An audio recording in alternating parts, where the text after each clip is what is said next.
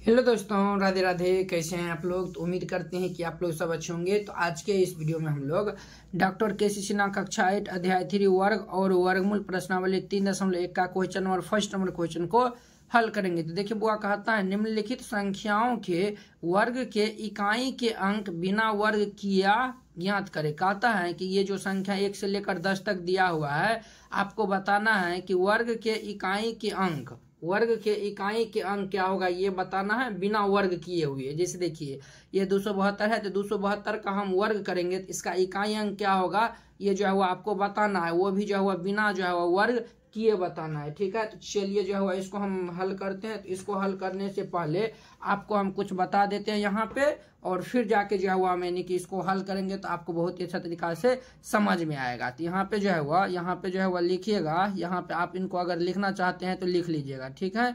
यहाँ पे लिखिएगा, संख्या के इकाई, संख्या के इकाई स्थान स्थान का अंक।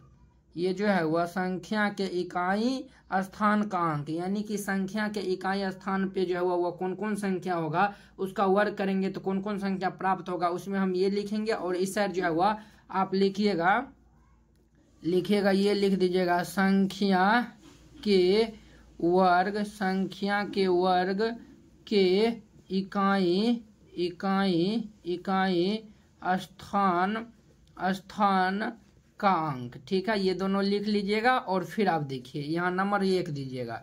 नंबर एक में अगर जो है वह संख्या के इकाई स्थान पर अगर जो है वह एक और नौ रहे, संख्या के इकाई स्थान पर क्या रहे दोस्तों? तो एक और नौ रहे, एक और जब नौ रहेगा तो इसका वर्ग करेंगे तो उसका इकाई स्थान जो है वह हमेशा एक आएगा। ठीक है तो ये हमेशा याद रखिएगा।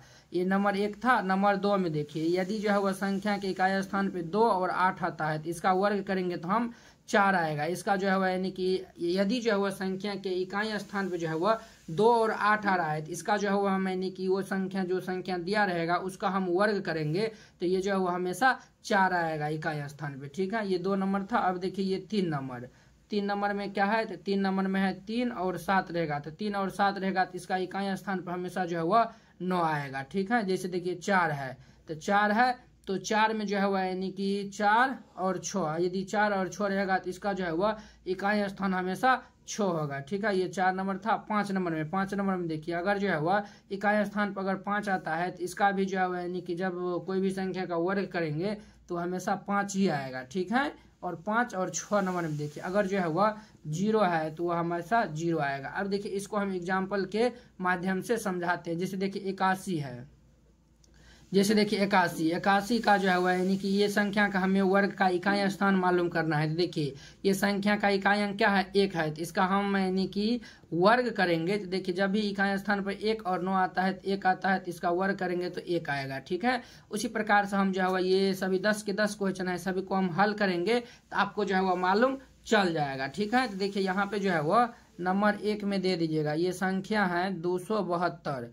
दो सौ बहत्तर का जो है वह इकाई स्थान क्या हो जाएगा? तो देखिए, दो है। जब भी दो रहता है, देखिए, जब दो रहता है तो इकाई स्थान पर क्या आता है? चार आता है। तो यहाँ पे दे दीजिए चार। यही इसका आंसर हो जाएगा, ठीक है?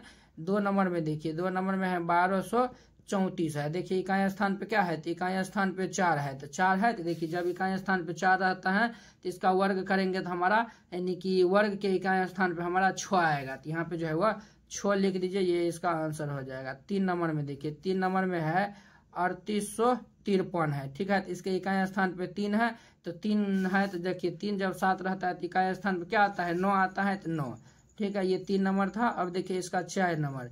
चार नंबर में है इक्यानवे ज़ीरो छ, ठीक है?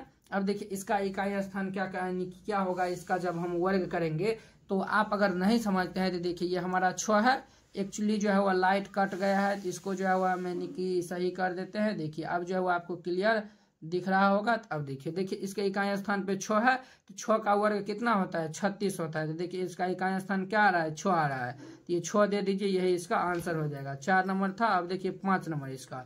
पाँच नंबर में है, ये हमारा पचपन पचपन पाँच है, यानी कि पाँच गो जो है वो पाँच है। दो, तीन, चार, पाँच। तो देखिए, ये जो है वह इसका इकाई स्थान पे पाँच है तो हमारा क्या होगा? पच्चीस पच्चीस, यानी कि पाँच आ जाएगा तो पाँच इसका इकाई स्थान हो जाएगा। पाँच नंबर था, देखिए, छठा।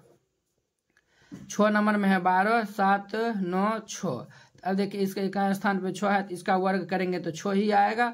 छः नंबर था, अब देखिए, सात नंबर, निन्यानवे यानी कि अट्ठासी ज़ीरो है। तो आपको हम बताए थे, जब भी किसी भी संख्या के इकाई स्थान पे ज़ीरो रहता है, उसका वर्ग भी हम करेंगे तो ये जो है, वह ज़ीरो ही आएगा। तो ज़ीरो इसका आंसर हो जाएगा। सात नंबर आठ नंबर, देखिए, आठ नंबर में है, छब्बीस, तीन सौ सतासी है। तो अब देखिए, इसका इकाई स्थान पे सात है, इसका जब हम वर्ग निकालेंगे, ये जो है वो हमारा नौ आएगा, ठीक है? देखिए, ये जो है वह जब तीन और सात रहता है तो इसका इकाई स्थान पे क्या आता है? नौ आता है। ये आठ नंबर था, अब देखिए नौ नंबर।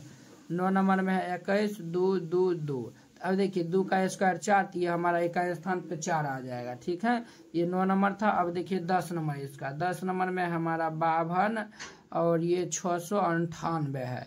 अब देखिए, ये हमारा आठ है आठ है तो जब एक स्थान पर आठ रहता है तो क्या आता है?